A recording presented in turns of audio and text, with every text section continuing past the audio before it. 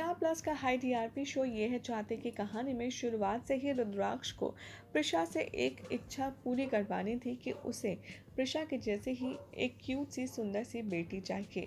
लेकिन कहते हैं कि वक्त को शायद कुछ और ही मंजूर था, इसीलिए इन दोनों के बीच में इतना ज़्यादा गैप आ गया कि प्रिशा ने उसकी ख्वाहिश पूरी कर दी, लेकिन उसके बावजूद भी रुद्राक्ष अपनी रूही से इतने साल दूर रहा। लेकिन लगता है कि अब दुख भरे दिन बीत गए हैं और अब रुद्राक्ष प्रिशा की ज़िंदगी में खुशियों के दिन आ चुके हैं। क्योंकि रुद्राक्ष का सपना एक हैप्पी फैमिली का होने वाला है कंप्लीट और सब कुछ सही हो जाने के बाद में रुद्राक्ष अपनी पूरी फैमिली के साथ एक बार फिर से अपनी खुशियाँ जीते हुए नज़र आएगा।